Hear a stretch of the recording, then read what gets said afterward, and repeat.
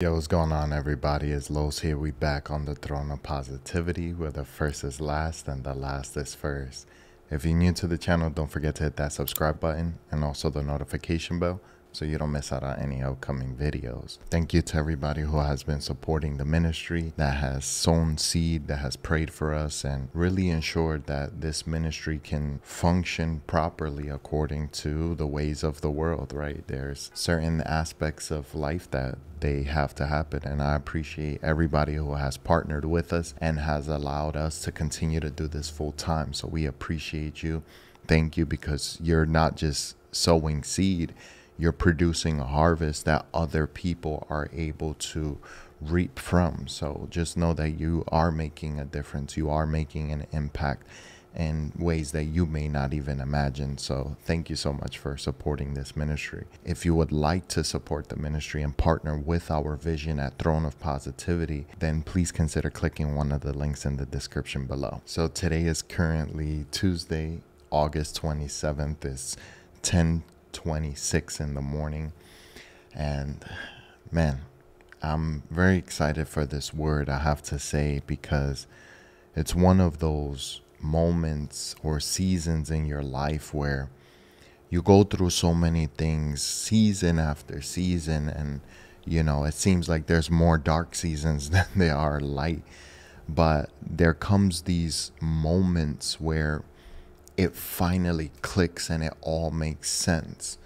And this is one of those life defining perspective shifting like seasons for me. And i want to share with you what that looks like and hopefully you will be able to be blessed from this as well. And the type of thing that i'm trying to describe is what was mentioned yesterday briefly on live for anybody who doesn't know we are monday through friday 3 p.m pacific time we go live to do bible studies so if you would like to join and learn a little bit more go ahead and do that. So, what I'm talking about in regard to my season is how beautiful God demonstrates this is why I was asking you to trust me all this time. There are many concepts, there are many things that occur in creation that can't be explained to us. We must experience them.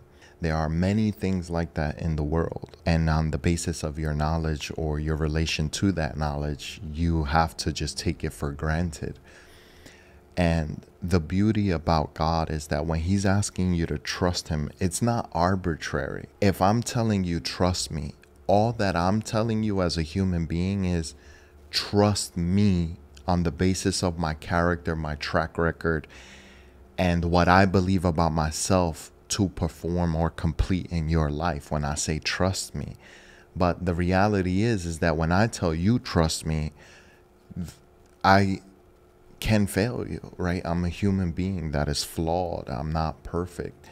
But when God says trust me, beloved, this is the God that speaks life from the grave. This is the God that causes darkness to flee at his command. This is the God that the waves obey and the skies split before him. This is the God who teaches the sun to rise and the moon to give forth its light. He cannot change and he cannot lie. So when he tells you trust him, there's something that he knows that you don't know. And he wants you to believe in him so that he can show you why he can be trusted. And that's the most precious part to me about this process with the Lord when we're waiting on Him is that He doesn't tell you, trust me, for the sake of His pride, for the sake of, oh, I am perfect. I, I never lied before. There's no pompous nature, there's no snarkiness in the Lord. He knows it's for our benefit that we should trust Him, and He has good things for us. And like I mentioned in last week's video, he's doing all of these things and there's no benefit to him whatsoever. So why wouldn't we trust him? So man, this this summer has been a very interesting summer.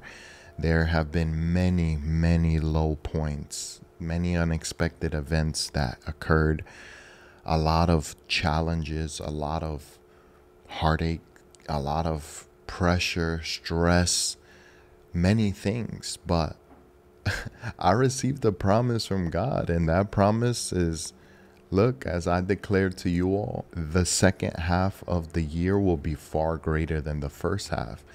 Now, I was telling God, and I've told you all this, how is that possible? Because at least the first five months, all the way till May, I was experiencing things that I never thought I would experience in regard to communication, in regard to intimacy, in regard to closeness, in regard to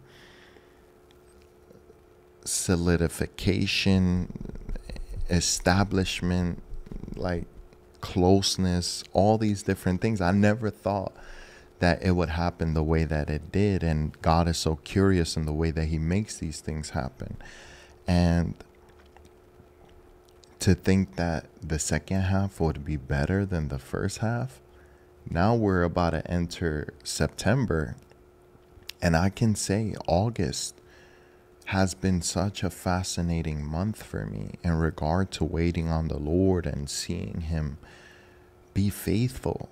Like it just has me shocked. And I want to say a couple things and then we'll get into uh, something that I want to mention, which is you all know that I've been asking you to pray for me for the three miracles that I needed in the month of August. However, I want to talk about something briefly in regard to the book that I wrote, Enduring the Wait Guide to Achieving God's Promises. I'm going to put the link in this video on Friday, so I'll backdate it and then comment it on the video. But I can't right now because Amazon doesn't give you a link until you're book actually releases. I don't know what that's about. But there's something that I want to talk about before we arrive at how my mentality shifted, and I think it'll be helpful for you. I wrote this book as a result of intense pressure from the Lord. Like, my heart was hurting, my soul was perplexed. I was in a very dark place in June when I wrote this and having the ministry full time and being able to dedicate a lot of effort to it, we were able to produce something out of that pain. And, you know, that was a very confusing time of my life. However, God continued to tell me, trust me. It, it felt like a blistering blizzard, like a storm where if you've ever been in a blizzard before, there can be blinding snow in the sense that you can't see in front of yourself, like almost like rain. Like if you've been in Florida, it rained so hard you could barely see five feet in front of you. And that's what June felt like for me. And um, the only thing that I could rely on was the voice of God. I couldn't rely on what I see because I couldn't see anything. I couldn't rely on what I hear which is ironic because I'm saying that I relied on the voice of God, but I'll explain that. Be- I couldn't rely on my hearing because the wind was too howling and screeching. It made me deaf. So I didn't have sight, I didn't have hearing. I had to rely on the inward voice, the small, still voice of the Lord in my heart. And no matter how contrary or contradicting my situation was, he always reminded me, trust me, always reminding me of his promise, where he said, I want you to hope in this. I want you to believe in this, no matter how many things may stack themselves against you, no matter what the situation may look like, no matter what the reality may be. He made no excuses about it but he continued to tell me trust him because he's worthy and what he has planned is worth it so as perplexed as my heart was the state of my soul i continued to push forward without sight without being able to hear or even have orientation i just trusted in the lord and i'm the type of person like i work extremely well under pressure and it's kind of like a double-edged sword because when I'm not under pressure, I drag my feet. I have to be honest. Like uh, I, I just always like that. I'm the type of person that when the deadline is deadline, and you know, like that's where I work my greatest work. So God utilized this moment of extreme pressure to produce oil from that situation or that time in my life where everything felt confusing and it produced this book. Now, I have to be clear that the book is not anything personal. I didn't write anything personal. It's simply a guide to help people endure the wait and achieve God's promises. However, it just goes to show that when we become uncomfortable, when we relinquish ourselves to the Lord and allow that pain to have purpose, it produces something for the kingdom of God. And I am so excited to see what you all think about this book. And I get feedback from you. Uh, write a review on Amazon, by the way. Leave five stars. uh, we try to get on the New York's bestsellers list, so we don't gotta ask for donations anymore. We could just live on the ministry. You know what I mean? So that'll be awesome. But um, yeah. So whatever things you are going through in your life, this season transformed me in a way that I never expected. I would have never willingly agreed to this, right? I would have never said, like, yeah, Lord, I want to go through this. But I have to say that I'm glad that I went through it. I wouldn't want to go through it again, but wow, I have so much peace. And I'm a transformed man forever, like because of it. And because we trusted in the Lord, we got out to the other side. Now we could see the light. There is no more blinding snow or rain. There is no more screeching, howling wind. You start to reorient yourself to the light and to the sounds and the beauty of the paradise that He brings you to. And, you know, July was an interesting month of healing and God taking His time with me and really rehabilitating my soul. And then August came and yo, it was crazy what started to happen. The last week of July, situation started to rack up and just, it felt like the whole army of hell was against me. And I needed three miracles, one that week, one within a week and a half after that, and then one finally this week, yesterday, um, or Sunday, whatever. And without fail, every single time God came through. Like without fail. And like I'm telling you, when I tell you these are three impossible situations, I will I won't speak about it anytime soon. Maybe in the future I'll say exactly what it is. But for the sake of respect, brevity, um, uh, being discreet, I don't want to talk about it. But it's beautiful how God did the impossible for me in this situation. And I, I, the only thing that I can say is, how am I not going to believe? How can I not believe? And God did all these things. But to me, the most precious thing throughout it all is like, when you are in battle and you're getting hit over and over and over again, you're wrestling, you're fighting, you're worshiping, you're praising through the storm when you don't got it, all these things, you become numb to it for a while. But then once that numbness goes away and the wounds heal, you become stronger. There's scars that are left over, but you become stronger.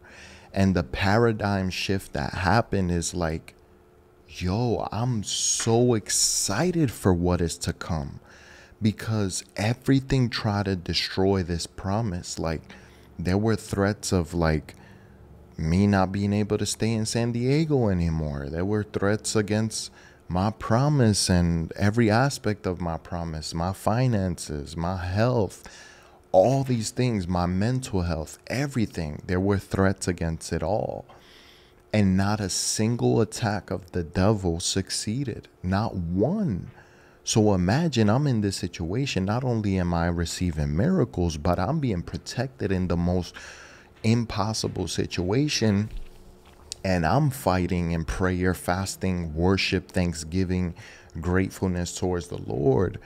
That when you finally overcome in the battle, something happens. And yesterday, like I mentioned on live, I got the miracle that I needed finally yesterday. And without fail, I always tell you guys when I'm blessed, some the devil brings something as equal in opposition to try to steal my joy. And before I would react, I'll be like, ah, why this and all of that.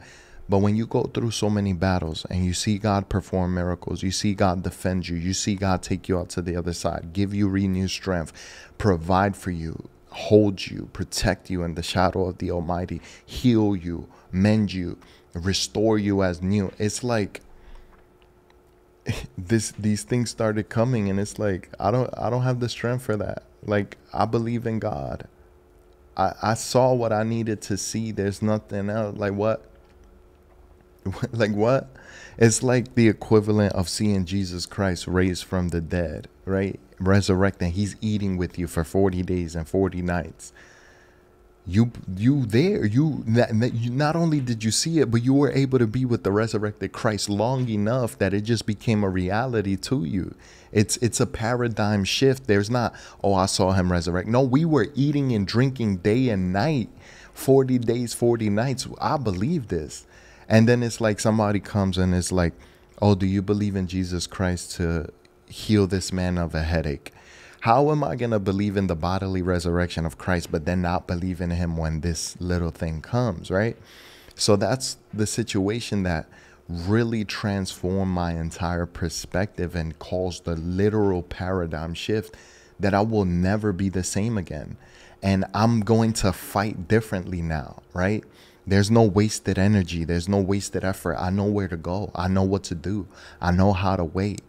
And what's incredible of seeing God resolve all these things financial, providential, divine, relational, mental, like family wise, all these different things. It's like, whoa, you just have this light bulb moment where it's like, if I saw you do all of these things, imagine what you're going to do with the promise that you gave me.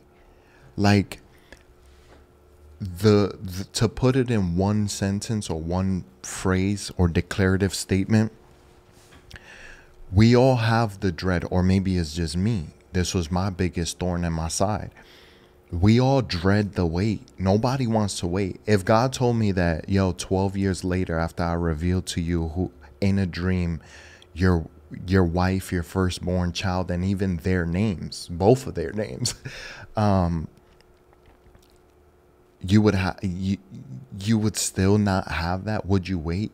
No, you wouldn't wait, right? Like you wouldn't wait because it's like who wants to wait in that way and never knowing when it's gonna come. But here we are, twelve years later, and I'm just like, after all that time, this is finally the moment where I'm not dreading the way I desire it. And I have the excitement that I used to have before that was faulty and shaky. Before I had the excitement that it's like, man, this could be it. This is it. This is the time. This is the season. This is the day. This is the week. This is the month. Oh, this is the year. And then what happens? Days go, nights come. Nights go, days come. Suns rise, suns set the moon rises, the moon goes away. And then you become discouraged, you become hurt and disappointed in yourself for your expectations. And it just is a painful process.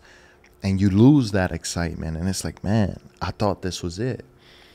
I have that same excitement, but in a different way. I'm not excited because I have this future date in mind. I'm excited because I've already seen God do the impossible. I've seen God restore. I've seen God defend me. I've seen God fight for me. I've seen God provide for me. I've seen the most impossible miracles that I'm just like, I'm if you're doing this now, I'm so excited. I don't dread the wait. I'm desiring the wait. Because every day I told you guys before, what hurt me before is that every day, I'm not even joking, no matter how hurt I was, every day I would wake up and I would be like, today could be the day that God blesses me with my promise that I've waited all this time. What if today was the day my wife called me or that I met my wife on the street and we like bump heads and you know we is all a movie, right? I always had that excitement. But then every night it would like hurt because it's like, man, today wasn't the day. But now it's just like I'm excited. Whatever you want to do every day, even if it's not today, that means it's built up stronger. It's refined more. We're prepared more. It's just like every day that passes that we don't receive the promise is one day better. It's like every day shall become a coin in your treasure chest, right? For your treasury. And I remember I told you guys about the vision that God gave me about my wife. I, I mention it often in May 2015, where I wrote a almost four page letter to my wife for her eyes only that I would give to her on our wedding day for her to read about this entire vision. And there's this one part, uh, not to get specific, but God spoke to me and said, Your treasure is to be found in her, and her treasure is to be found in you. I have locked away a treasure chest in each one of your hearts, and you guys will seek each other out. And in marriage alone, when you come together, those treasures shall be unlocked to you both. That's as far as I knew, right? From that since then. But what I've been learning recently is like, as her and I are on separate paths, God has each of us individually and he's enjoying us in our singleness and he's preparing us as much as possible and every day every season every test that we pass all trials all tribulations every tear everything all those are gems jewels crowns all these treasures are being stored in our heart where whatever I'm going through, all those things are being laid away in my heart. And whatever she's going through, that's being laid away in the treasure of her heart. When we finally come together, the more time that passes, the more treasure there is. When we come together, finally, we're going to be able to enjoy that even more so not just because of the treasure that was there, because the treasure is the treasure, but because of the denial, because of the process, because of the impossibility her and I had to go through to even get to the altar. So, all of that denial will lead to increased desire. And the beauty of it is, is like having written this book, I can't even imagine what my wife is accomplishing or what God has her doing, right? having written this book and doing things in the ministry, I've accomplished quite a bit in my life. You know, whatever it is, I'm not going to compare myself to anybody. I'm only myself. Um, but writing a book, I never, I've always imagined myself doing it, but there's a difference between imagination and reality. And it's just like, wow, we actually did it. And if that's what God is doing here. He's continuing to elevate me and push me forward. And the more He elevates me, in reality, He's elevating my wife in the way that I can prepare for her, the way that I could provide and do for her, right? And the struggles that I'm going through, she's going to benefit directly from it. And I hope these videos inspire her. I hope they prepare her. They mean something to her, that they help her to make decisions or whatever, like in the future when she sees them, right? And whatever she's going through in her life, whatever she's producing, whatever she's going through, whatever suffering, all those things, whatever she's accomplishing, is going to prepare her as a wife and a mother in the future that, yo, when we come together, it's going to be for both of our benefit. And instead of like two shells of individuals coming together, it's like two whole individuals prepared in every single way are coming together. So every day that passes, now it's like, man, it's not about, oh, I wish it was today.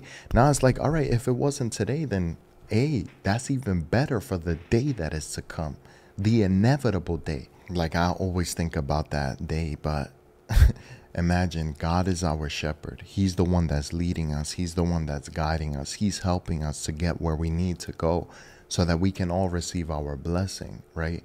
With God by our side, there's no impossibility. There's no obstacle we cannot overcome. God is our shepherd and we will lack no good thing in his presence.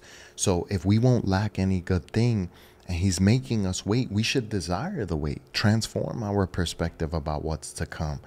Because man, with God, if we maintain the faith, that impossibility will convert and become possible with the Lord. So be strong and courageous no matter where you find yourself, no matter how long you've been waiting, it doesn't matter because when God does it, it's good and it's perfect. Nothing added, nothing taken away. How much will you enjoy when you've finally received that? So just have that mentality now. So I'm excited. You know, I'm not in no rush. I know I've said that earlier this year, but I think that was more the excitement in me talking. But I, I'm serious because I've gone through so many storms that I'm really patient. And I can't wait to see what the Lord does. That's what I'm excited about. Before, it was like the result is what was desired. Whereas now, it's like the process is what I have fallen in love with. We always talk about that, but the reality is different from theory. So I'm really in love with the process now because I can't wait to see what God has prepared in my wife. I can't wait to see what he does in her. I can't wait to see her confident and, you know, imagine her preaching the word of God and you know, all these different things and developing in the gifts that God has given her. Imagine when I meet her one day, I'm going to be like, yo, imagine all the questions we have we can finally ask and get the answers to those things and see how did God prepare you and all these things and how did God prepare me and all these things. So, anyways, family, I hope this is all encouraging and I'm able to convince you that the wait is worth it. What God has for you, beloved, if you could transition from dreading the wait to actually desiring the wait and falling in love with God and the process, imagine what's to come right? I always have the desire, like, man, I wish this was the Christmas that I'm able to be with my wife. You guys always know that's my mentality, and we already at September, so I know God can do the impossible, but I've really surrendered my calendar and my future to God. So I just hope my wife is willing to wait with me and that she would be patient, that she would give her all and continue to do what she needs to do for the kingdom of God, so that when we come together, you know, she's running along her path, I'm running along my path. When we meet, we're not stopping. We're running together now. We're going to finish the race together. So, hey, Christmas could still be a possibility. I'll just say it. nah, I, I have I have faith in God for anything, you know. I always joke and I laugh. I wonder if my wife is really truly about it to get married like hey, 40 days. God reveals it to us. What if you want to get married 40, 60 days? Would you be willing to do that? I wonder if she is, man, because I am. I, I've waited this long. I don't need to wait longer. But we shall wait. We shall endure. More than the watchman waits for the morning, we shall wait. So all of us must wait. Let us wait. Let us wait with anticipation and expectation, desiring to obey God in everything. But again, obeying God through the process and falling in love with Him more and more. So, anyways, family, without further ado, that's the message. Hopefully, you enjoyed it. Look forward to Friday because, man, Friday, that book is coming out and I can't wait. I can't wait to hear your feedback. I'm so excited, man. This has been a labor of love with the Lord. So, anyways, family, y'all know what it is. It's Los here. We on the throne of positivity where nobody shall dethrone us. We out. Peace.